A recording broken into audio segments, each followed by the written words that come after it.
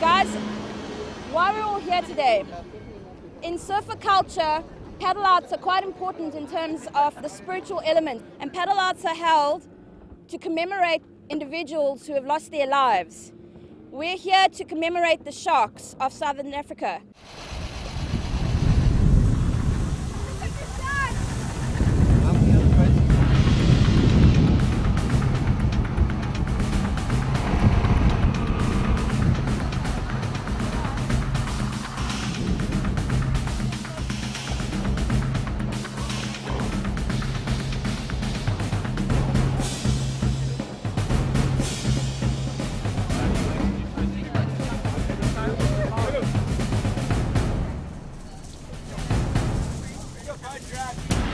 Just to support the cause. You know, sharks need a voice, uh, still misunderstood creatures. So uh, it's amazing to see so many people here to support uh, the cause and be the voice for the sharks.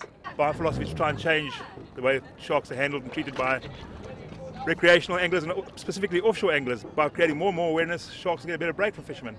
The reason why I'm here is to assist in um, attempting to challenge un- assumptions about sharks. Days like today are so important for shark conservation because it's brought together a variety of different ocean user groups. We've had surf ski paddlers, divers, swimmers, surfers, um, different conservation groups and scientists out here together, all united for the same cause. As a photographer, I've come to work a lot with sharks. They, they, they're most probably my main subject that I, that I photograph. Without the apex predators, everything else is going to fall apart. We want to use the perceptions of people that are here to challenge the discourses of people that are out there. So I'm kind of hoping that the energy from this will be taken forward to attempt to start lobbying the authorities in a way that they feel pressure.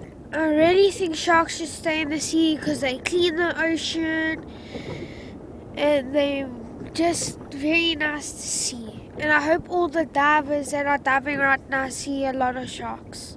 Conservation of land-based species is, is has a lot of momentum right now, but right now we, we want to focus on sharks. We want to put them at the forefront also.